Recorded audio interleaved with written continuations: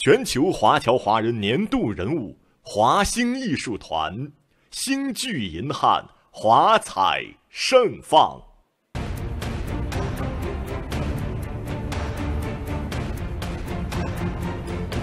一起来合影留念。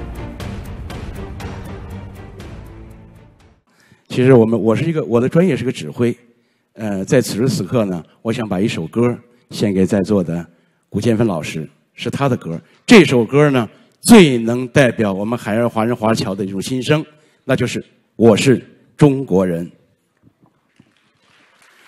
有人曾问我。你是哪里人？蓝天大海曾问我，那是你的根。站在广场上，我大声告诉世界，我是华星人，我是华侨人，我是中国人。更多精彩尽在中国新闻网客户端。